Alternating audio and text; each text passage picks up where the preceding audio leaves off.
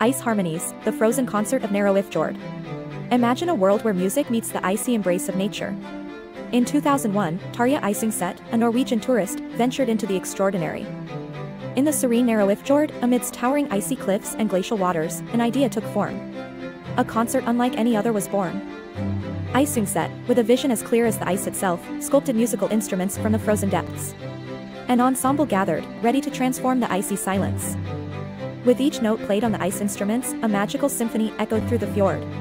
It was a fusion of art and nature, breathtakingly beautiful. The performance was more than music, it was a dialogue with the elements. An homage to the raw, untamed beauty of our planet. This was a moment where human creativity and nature's majesty danced together, under the ethereal glow of the Arctic sky. Terje Isungset's ice concert in Nærøyfjord remains a testament to the endless possibilities when we harmonize with the world around us.